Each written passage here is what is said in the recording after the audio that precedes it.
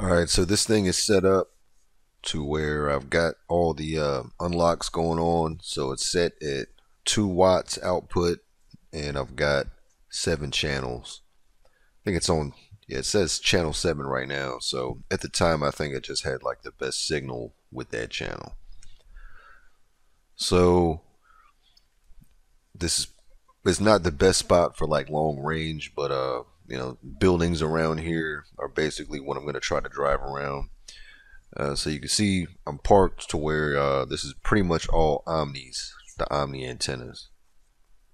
I've got, uh, I think some TrueRCs, just some 5.8 gigahertz TrueRCs on the transmitter, and just the stock Omnis or whatever they are, the stubbies on the uh, receiver. So I don't, I don't have like Walksnail goggles. I'm just using the receiver module on the sky Skyzone goggles that I've got, right?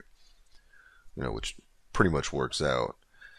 Um, so basically, I've set this so the bit rate is 25, um, and I feel like you should get the longest range with that, at least as far as I know, with the Walksnail. Whereas with the DJI, you want to have it set at 50 uh, megabits per second for the bit rate because then you'll get the longest range. But as far as Walksnail, from what I can tell, you do get better range at uh, 25. So you can see, you know, not really far at all. Doesn't really have a hard time. But then right here, boom, drops down pretty low, right? So I can basically already tell just from that it's not gonna go around buildings, right? I've already tried a couple times, um, different settings. You know, basically once I got this set up where I felt like it did have the best range, still wasn't gonna make it around, you know, like a building. so it's not bad. I'll say when I first played with it, I thought like, man, I'm better off with just like a high power analog setup, right? But I'll say it, it does have its benefits. Um, for one, the the uh, low lighting on it, you know, the handling of the lighting is way better. Some people, I guess, like the color of it. You know, you can see like the image does look pretty good. But also, if you really pay attention, a lot of times you see like jagged edges, right? That's the only thing I'll say about the image quality. Um, it's like it doesn't have anti-aliasing or something like that, right? So it's not bad, but you know, looking at certain things up close, you can really see the, uh, the like the, the pixelated edges and whatnot. So I didn't want to keep going that way. I thought it was going to get stuck, but it wasn't doing too bad, right? The bit rate didn't really drop as I was going that way, but I know it would have if I had gone a little bit further, right? Because it doesn't take much building before this thing starts crapping out.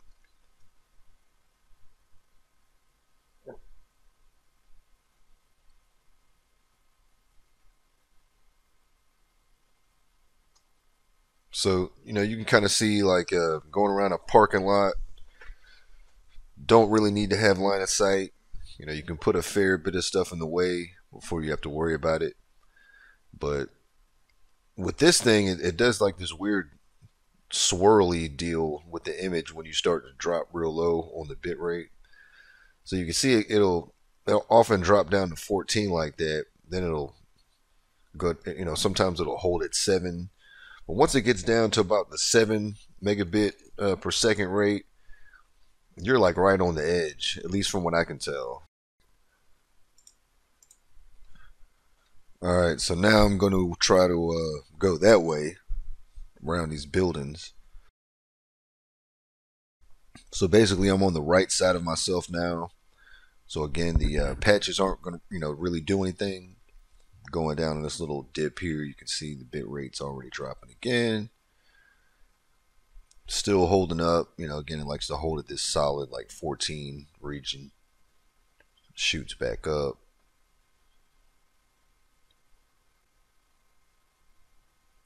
So, you know, not too bad, not too bad. Come this way. So when I go around this building right here, see every little thing that I put in the way now, it's really really killing the signal.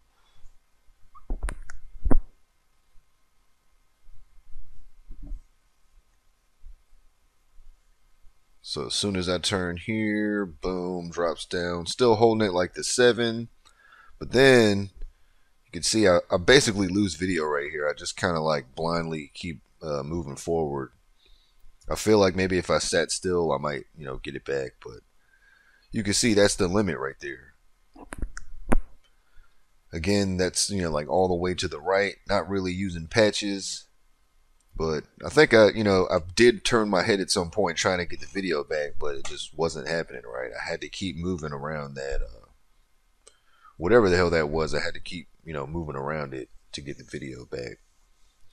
So again, we're not talking about very far, like you know, a little over 100 meters, maybe, maybe 140, something like that.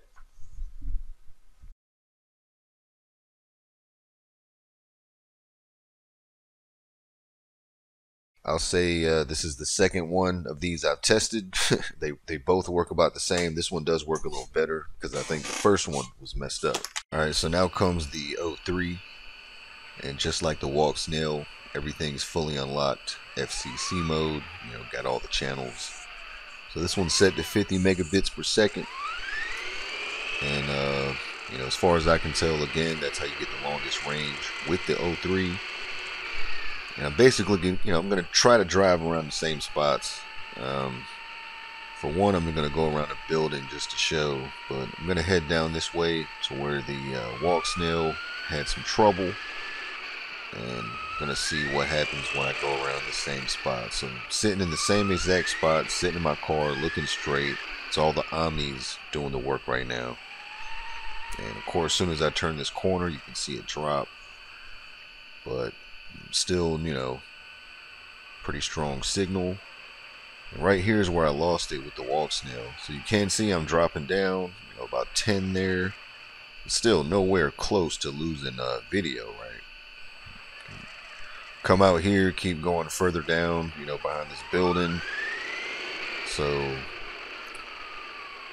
I think, you know, I've done it before. I think I can just sort of like barely make it around here. If I'm facing it using the patches, then it's much better. But know, still, I'm already around the side of this building. O3 really has no trouble at all. I already knew it, you know, it could make it. So that's when I say uh, when I started driving the Walksnail, immediately I'm thinking like, man, this is, you know, it's nowhere near as good as the O3. I guess they have their ups and downs and whatnot. But, you know, you can see the Omnis, no patches involved. Now, I can still still does some decent penetration, right?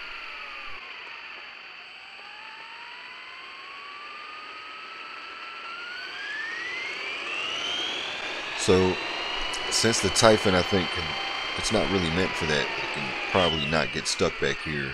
And uh, I figured I would try it. Try to hug along the side of this building and go all the way around it without getting stuck.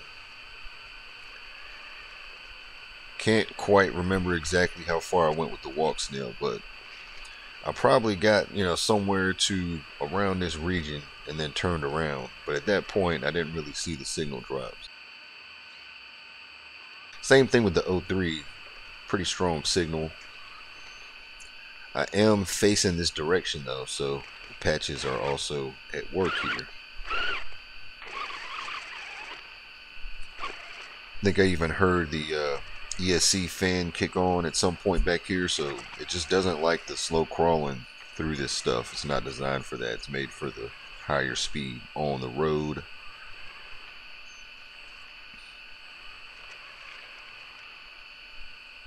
Kind of, you know, maintains about the 30 or so around here, so I can basically tell that I'm safe to keep going. I already know I can make it around this building, and um, so long as I don't get stuck and I shouldn't drop below like 10 megabits something like that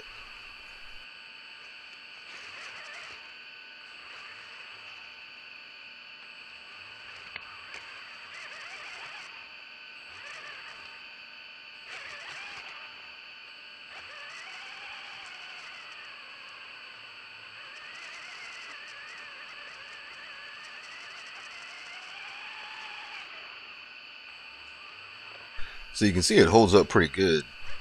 Had a little blip there, but you know, again, signal still holding pretty strong.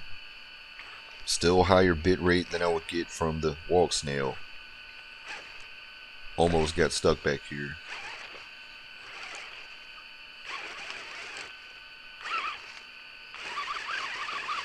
Just like screw it, power through it. And boom, I'm on the other side of the building, right? So I didn't dip below 10. Just barely hugging on 10 point something right there, right? And this is like nothing for the O3 coming over here. You see this guy uh, mowing the lawn. He's like, what the hell? So strong signal, other side of the building, right? Then I just, you know, speed on back.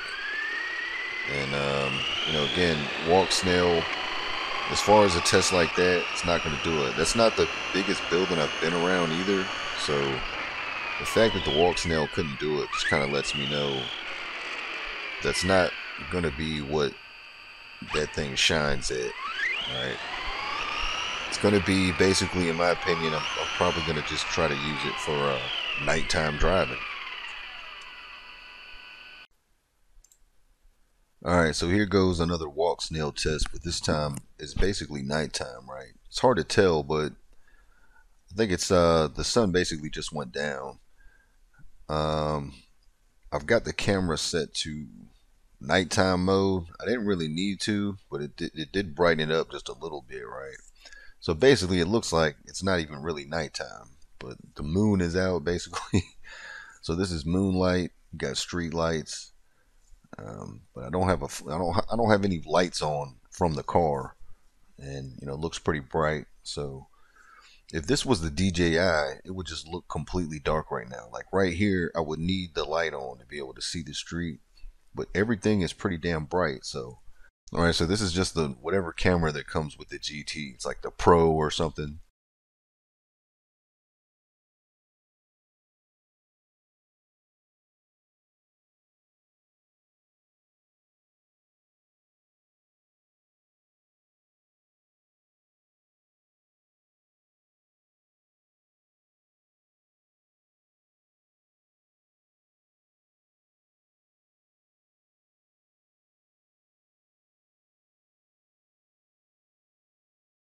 So once again, I'm not really that far at all, but I'm going to sort of dip around down here to where at this point I am going around the corner of the building and it's kind of dipping down a little bit. So you can see what it does. It's trying to hug on that like 14 or so. It's not too bad. I would say uh, I probably would. It would be kind of rough down here with uh, analog, but you know, still get the clear video with the Walksnail.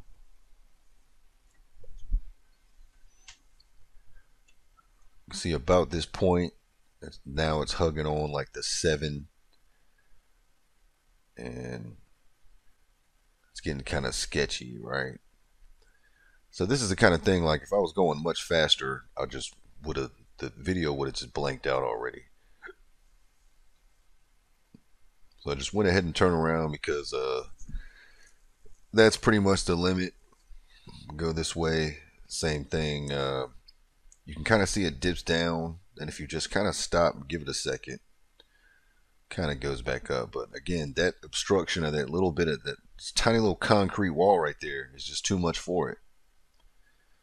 So I've seen enough times already that the uh, the Walksnail transmitter is just not the combination of stuff I'm using, I don't know. Other people might have different luck, you know what I mean? But for me, so far, doing everything to where, except for changing the antennas on the receiver, it just doesn't seem all that great.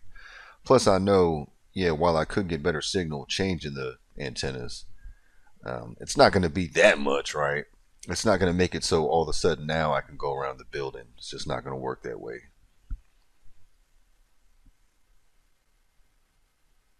So again over here, everything looks real bright and washed out almost. So I didn't really need to change the uh, camera setting.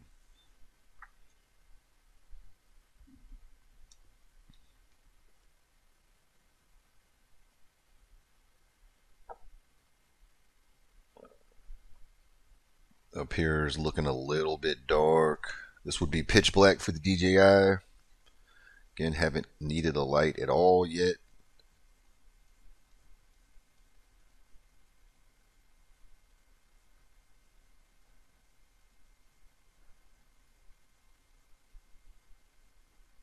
Again, just a little more close range penetration testing. So again, you know, this is all the way up again, 2 watts.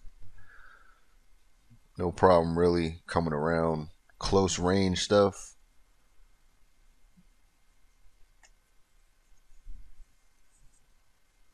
And again, like these dumpsters.